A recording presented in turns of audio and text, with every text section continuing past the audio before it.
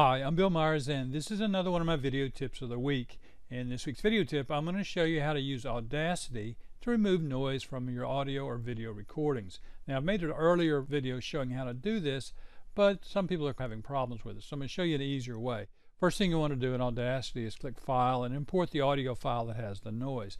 And I've got an audio file right here that has noise in it. I'm going to play it so you can hear you hear that little rumbling sound? Well, I don't like that rumbling sound. I want to remove it. So let's do that in Audacity. First thing we're going to do is we're going to select just the noise only. And now that the noise is selected, we go up to Effect. And on Effect, we choose Noise Removal. And on Noise Removal, we choose Get Noise Profile. And when we do this, we're telling Audacity that this is what the noise sounds like. So we click Get Noise Profile.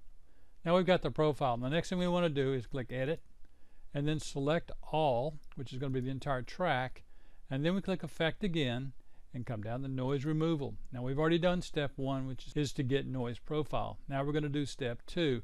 And the way we do step two is that we want to reduce this slider that says noise reduction down to about half. And with that down about half, we're going to click Preview to see what it sounds like.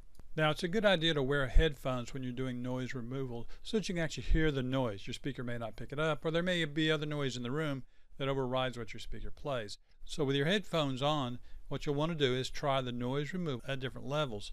And what I generally do is start at the half level first, and then I click preview to see what it sounds like. So we're going to click preview here. Hi, I'm Bill Myers, and this is another. And you know, the noise is still there. It's not really what I want it to be. So I'm going to go up a little bit. So this time I'm going to try 16 and click preview.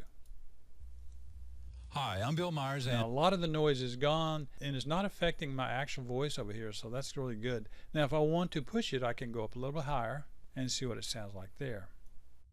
Hi, I'm Bill Myers. And it sounds good. Now, what you'll find out in some cases that if you push it too high, it'll start distorting the audio that you want to keep, and you'll get effects that make you sound like Mickey Mouse or something. So I'm going to leave it down at 20.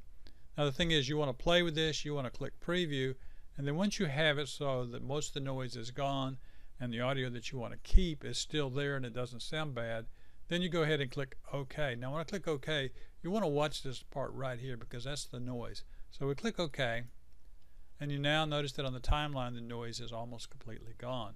And if I were to play it right here, Hi, I'm Bill Myers and this You'll see that the noise is gone, but the voice is still there. It's nice and solid. Anyway, this is how you use the noise removal effect in Audacity. Thought you might be interested in knowing how to do this. I'm Bill Myers. This has been another one of my video tips of the week. You can find more like this at www.bmyers.com.